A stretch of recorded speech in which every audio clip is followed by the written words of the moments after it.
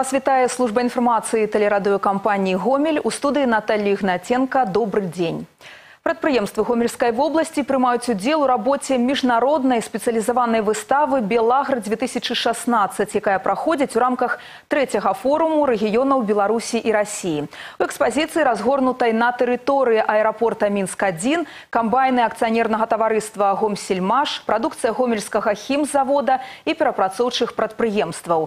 Нашы корэспандэнты сустрэліся з удзельнікамі выставы. Спецыялізаваная міжнародная выстава Белагра буйнейшы ў Беларусі форум форум такога накірунку. Сёлета ўдзел у ім прымаюць больш як 500 кампаній з 23 краін. Па вялікім рахунку Белагра 2016 гэта магчымасць знайсці новых партнёраў, даведацца аб сучасных тэндэнцыях развіцця аграрнай галіны, абмяняцца вопытам і прадставіць сваю прадукцыю. У полі зроку маркетолагаў акцыянернага таварыства Гомсельмаш сёння такія новыя краіны, як Турцыя, Індыя, Нігерыя, Паўднёва-Афрыканская рэспубліка. Але супрацоўніцтва з традыцыйнымі партнёрамі тут адмаўляцца не збіраюцца. У першую чаргу размова России Российской Федерации. На выставке представлены комбайны 1624, э, зерноуборочный комбайн, который проходит испытания э, в Саратовской области, там, э, Волгоградской, то есть там, где есть необходимость убирать высокоурожайные хлеба, там, где есть необходимость убирать кукурузу. Такое супрацоўніцтва прыносіць карысць абодвум бакам. І справа не толькі ў тым, што расійскія рэгіёны атрымліваюць сучасную тэхніку. У машынах, якія вырабляюцца на беларускіх прадпрыемствах ад 30 до 70 процентаў расійскіх камплектуючых. З улікам таго, што сёлета міжнародная выстава Белагра праходзіць у рамках форуму рэгіёнаў Беларусі і Расіі, тэме супрацоўніцтва дзвюх краін увогуле асаблівая ўвага. Камунальнае сельскагаспадарчае прадпрыемства цяплічнае гомельскага района леташні план па экспарту выканала на 106%. Усе пастаўкі ў суседнюю краіну. Мясовая прадукцыя карыстаецца там вялікім попытам, перш за ўсё па прычыне высокай якасці і экалагічнай бяспекі. Наша продукция очень хорошо пользуется спросом. Дело в том, что мы одно из предприятий, которое выращивает пчелоопыляемый огурец, и мы используем биологический метод обработки. Работаем с регионами Московской области, с Москвой, э, с Питером, э, с Санкт-Петербургом, то есть эм, и э, с Калининградом. Беларускай прадукцыяй на выставе Белагра 2016 цікавяцца прадстаўнікі розных краін, а таму і падпісанне дагавораў аб супрацоўніцтве звычайная справа. Ужо амаль сем гадоў, як Беларусь гарантавала сабе харчовую бяспеку і цяпер штогод пастаўляе на экспарт сельскагаспадарчай прадукцыі амаль на 5 мільярдаў долараў. Пры гэтым значная частка гэтай прадукцыі адгружаюцца ў расійскія рэгіёны. Удзельнікі выставы гатовыя падзяліцца вопытам, як зрабіць такое супрацоўніцтва максімальна выгадным. Крэда нашай кампаніі прежде чем произвести продукцию, мы изучаем рынок и под рынок делаем план производства. Поэтому остатков продукции у нас никогда не бывает. И во времена, когда спрос на продукцию большой, когда спрос занижается, наша продукция продается всегда. Олег Сенчуров, Анастасия Кучинская, Евген Макеенко, телерадиокомпания «Гомель» из Минска.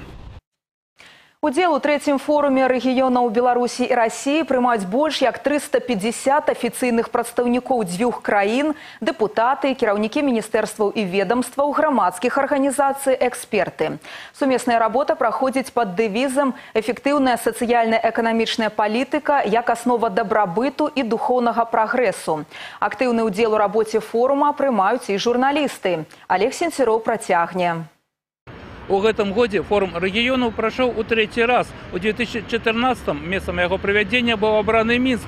Летась Сочы сёлета ўдзельнікі форума зноў прыехалі ў беларускую сталіцу сярод абмеркаваных актуальных тэматык фарміравання адзінай інфармацыйнай прасторы Беларусі і Расіі. Сярод удзельнікаў секцыі СМі як фактар рэгіянальнага ўзаемадзеяння і фарміравання агульнай прасторы гуманітарных каштоўнасцяў 250 журналістаў і літаратараў, якія прадстаўляюць тэлерадыёкампаніі і выдавецтвы ад Бреста да Ямала-Нянецкай акругі. Нельга сказаць, што на ўзроўні рэгіёнаў супрацоўніцтва адсутнічае ўвогуле, але і актыўным яго назваць пакуль цяжка. Калі беларускія аператары трансліруюць больш як 50 расійскіх тэлеканалаў, то ў некаторых расійскіх рэгіёнах аб'ектыўная інфармацыя нашай краіне адсутнічае. На думку удзельнікаў удзельнікаў форума выправіць такую ситуацию можно у тым ліку праз арганізацыю прэс-тураў конечно там э, есть и скажем и московские столичные журналисты но больше всего как раз и что мне особенно нравится упор именно на региональную прессу они бывают здесь, они ездят, смотрят, общаются, бывают в местных редакциях.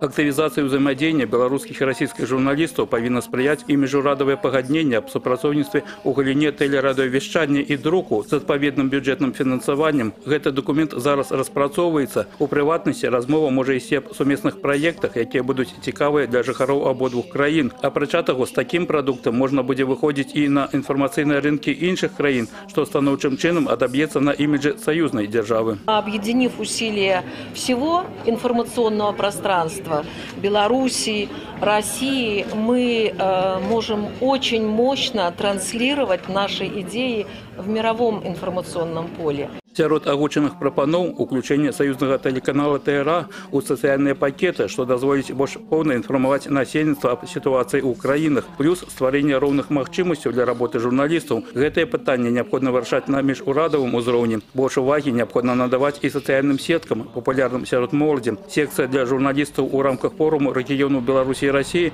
сёлета прайшла ўпершыню. Таксама ўпершыню арганізатары правялі і фестываль рэгіянальных тэлекампаній вобраз часу, дыплом 3 трэцяй ступені ў мазырскіх журналістаў за цыкл сюжэтаў аб беларуска-расійскім супрацоўніцтве ў эканамічнай, военно-патрыятычнай і культурнай сферах. Аб'ектыўнасць і адказнасць сёння гэта галоўнае патрабаванне да сродкаў масавай інфармацыі. Когда мы в России будем проводить следующий форум э, России и Беларусь, то нам нужно секцию такую же обязательно провести в России и пригласить как можно больше ваших региональных компаний в Российскую Федерацию. Ну, я думаю, что мы и без форумов с вами можем можем найти много поводов для хороших встреч и для совместной работы. Олег Сентеров, Евген Макеенко, телерадиокомпания «Гомель» з Мінска. У гомелі з'явіліся спецыялісты, якія дапамогуць вырашыць любы канфлікт. Пасведчанні аб праходжанні навучання на спецыяльных курсах медыятараў ва ўрачыстай абстаноўцы атрымалі 20 чалавек. Медыяцыя для Беларусі пакуль што з'ява даволі новая і распаўсюджана ў асноўным у мінску. Закон, які рэгламентуе дзейнасць у гэтай сферы, быў прыняты ў 2013 годзе. Кажучы проста, медыяцыя гэта спосаб вырашыць канфлікт ці спрэчку ў дасудзебным парадку. Перамовы паміж бакамі праходзяць пры ўдзеле нейтральнага пасрэдніка медыятара.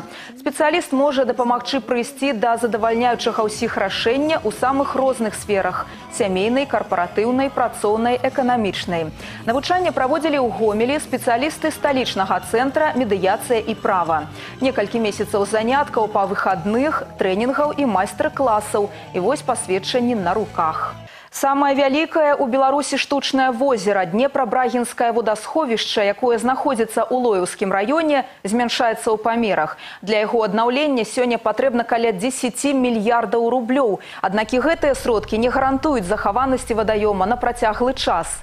Днепрабрагінскае водасховішча будавалася на працягу 10 гадоў, прычым для гэтага прыйшлося адсяліць дзве вёскі і перанесці некалькі могілак. Па сваёй грандыёзнасці яно не мае аналагаў у Беларусі, а на тэрыторыі савецкага саюза такіх збудаванняў налічвалася ўсяго тры. Водасховішча здадзена ў эксплуатацыю ў 80-х гадах мінулага стагоддзя і першапачаткова прызначалася выключна для ваенных мэт. Сёння яно выкарыстоўваецца ў асноўным для паліўкі палёў. Разам з тым штучнае возера знаходзіцца амаль на 30 метраў вышэй за ўзровень дняпра, адкуль бярэцца вада, што патрабуе значных затрат на электраэнергію. Па прычыне адсутнасці сродкаў зараз памеры водасховішча скараціліся ўжо на трэць і гэты працэс працягваецца. На думку спецыялістаў сёння неабходна перагледзець падыходы да выкарыстання вадаёму з наданнем яму іншых функцый использовать данный водный объект как пруд для рыбоводства.